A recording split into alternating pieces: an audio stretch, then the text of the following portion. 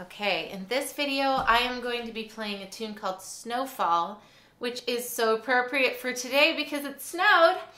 Um, so low two is going to be used in this tune. Um, in this session of Drunken Fiddles, we have not gone over a low two, but I'll tell you what it is before we get into it. So when you see an arrow, so here's your music. It's on the same page as crossing over. When you see this arrow there, that means low two. I didn't come up with that. That's just kind of the universal um, symbol for putting your second finger in the low position. Now you might think of low as this way, but low is actually towards the scroll because the notes are lower.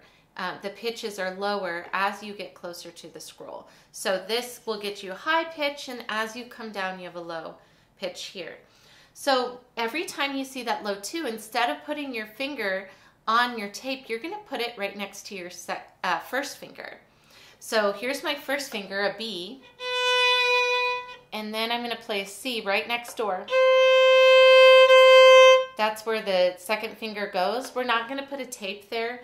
You can literally feel it with your first finger as a, a fret, almost like a guitar. You're using your first finger and then second finger's right next door. Okay, so I'm gonna play it now. Snowfall.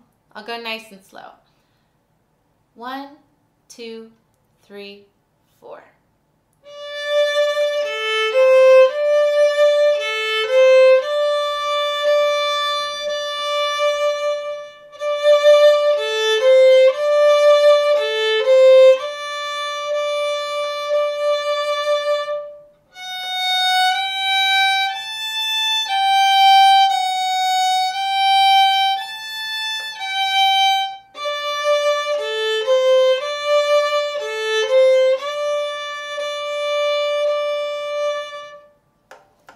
Have fun with that one.